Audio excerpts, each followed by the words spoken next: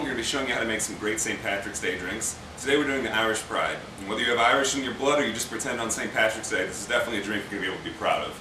We're going to start by adding ice to our shaker tin. We're going to use three ounces of green creme mint.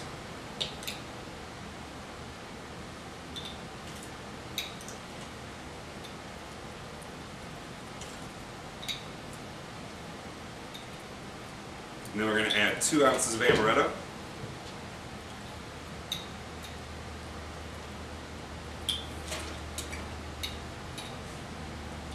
And then just one ounce of lime juice. Or lemon juice, I'm sorry.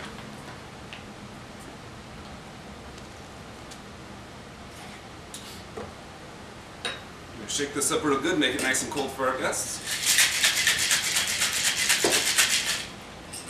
Strain. Some ice to our rocks glass.